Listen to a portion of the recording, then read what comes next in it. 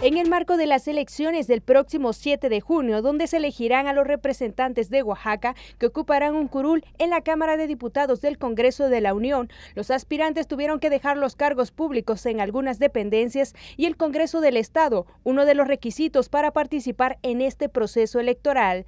Ante esto, los diputados locales solicitaron licencia en la 62 segunda legislatura del Congreso local mientras se llevan a cabo las campañas electorales. En el caso del Partido Revolucionario Institucional, la candidata por el Distrito 3 con cabecera en Guajuapan de León, Yolanda Edith López Velázquez, solicitó licencia en el Congreso local para ausentarse de sus labores legislativas durante este proceso.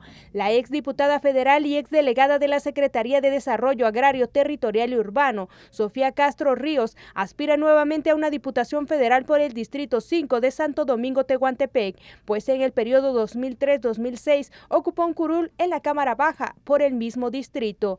Eliodoro Díaz Escárraga también está en busca de un lugar en el Congreso de la Unión. Desde el 2013 se desempeñó como coordinador de la región sur del Infonavit. Renunció al cargo luego del escándalo por el regalo que le dio a su hijo, supuestamente un Porsche Cayman color amarillo con un valor de 1.440.000 pesos. En su momento, Díaz Escárraga informó que dejaba el puesto para no perjudicar a la dependencia. Tan solo dos semanas después, el ex coordinador de la campaña política de Peña Nieto en Oaxaca acudió a las instalaciones del PRI estatal para registrarse como precandidato por el Distrito 6 con cabecera en la heroica ciudad de Tlajiaco. La ex delegada federal en Oaxaca de la Secretaría de Economía, Beatriz Rodríguez Casas Novas, dejó su cargo como titular de la dependencia un año después de tomar protesta, esto para contender como candidata por el Distrito 8, con cabecera en Oaxaca de Juárez.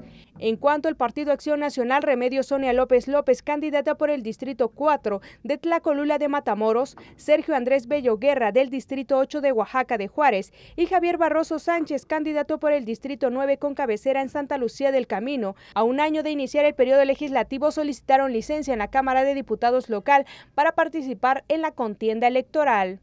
Con respecto al Partido de la Revolución Democrática, Juanita Arcelia Cruz Cruz del Distrito 3, con cabecera en Guajuapan de León, también pidió permiso en el Congreso del Estado para contender por un curul en San Lázaro, mientras que la candidata Eva Diego Cruz Cruz por el Distrito 9 de Santa Lucía del Camino participará para permanecer en el Congreso de la Unión, ya que actualmente es diputada federal con licencia.